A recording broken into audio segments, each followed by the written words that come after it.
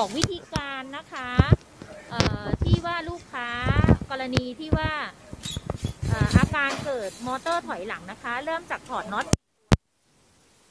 เริ่มจากถอดน็อตสี่ตัวออกก่อนเนาะแล้วทีนี้อ่าเปิดออกมาทีนี้ลูกค้าจะเจอ เป็นสาย เส้นสีม่วงนะคะ กับสีดำนะคะ อ่าชี้ดูใกล้ๆเลยค่ะ สีม่วงกับสีดำนะคะ อ่า สายสองเส้นนี้ให้เจอนะคะ อ่าเสียบเข้าไปนะคะ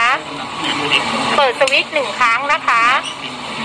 ให้ล้อมันหมุนไปข้างหน้าให้ล้อมันหมุนไปข้างหน้าแล้วก็ตรงนี้แล้วก็ถอดออกได้เลยค่ะ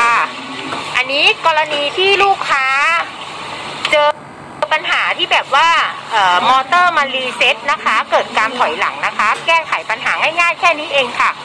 หาเส้นสายไฟเส้นสีดำกับเส้นสีม่วงนะคะ เสียบเข้าหากัน แล้วก็เปิดสวิตช์นะคะ เปิดสวิตช์รถเมื่อกี้นะคะ เปิดสวิตช์รถบิดทีนึงนะคะ เปิดสวิตช์เปิดสวิตช์เสร็จแล้วก็ให้ล้อมันหมุนไปข้างหน้านะคะ พอล้อมันหมุนไปข้างหน้าเสร็จก็ถอดออกถอดถอดถอดออกได้เลยนะคะ แล้วก็คอยปิดสวิตช์ค่ะอ่าเป็นอันเสร็จสิ้นนะคะ แค่นี้เองค่ะง่าย ๆ ค่ะลูกค้า